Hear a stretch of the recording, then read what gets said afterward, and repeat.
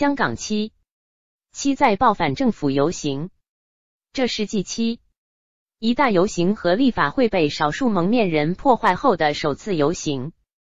香港陷入一场政治危机，香港示威者继续对亲北京的行政长官林郑保持压力，并试图争取大陆民众的理解。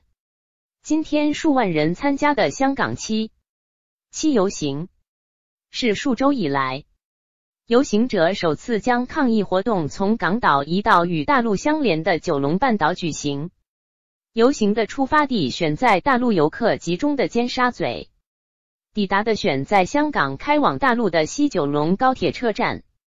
香港政府在民众大规模游行的压力下，宣布冻结逃犯条例修订法案，并未平息港人的愤怒。香港的反逃犯条例运动已扩展到更广范围，要求进行民主制度改革，终止对香港自由的侵蚀。法新社说，在中国，信息受到网络长城的严密封锁。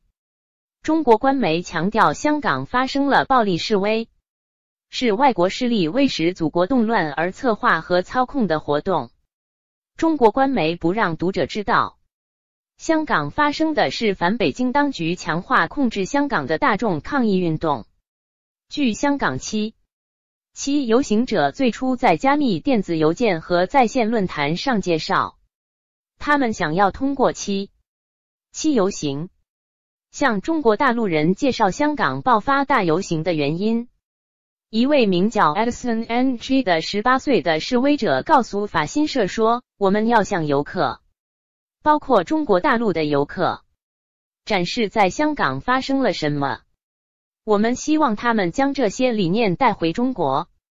不过，据《纽约时报》七月二日公布的一项调查，大部分中国大陆人，甚至许多在境外可获得全面资讯的大陆精英们，都不赞成港人为捍卫“一国两制”不受侵蚀所做的抗争。港府向中国引渡逃犯的法律草案，导致香港陷入政治危机。香港人多次举行大规模和平抗议活动，并出血一系列警民冲突和少数人冲击破坏立法会。示威者要求港府撤回逃犯修例，而不是冻结；要求对警方用催泪瓦斯和橡胶子弹攻击示威人群进行调查；要求当局释放被捕人士。要求亲北京的香港行政长官林郑月娥辞职下台。法新社说，在香港政府与示威民众之间，北京当局选择全力支持香港政府，要求港府对有暴力行为的示威者展开刑事调查。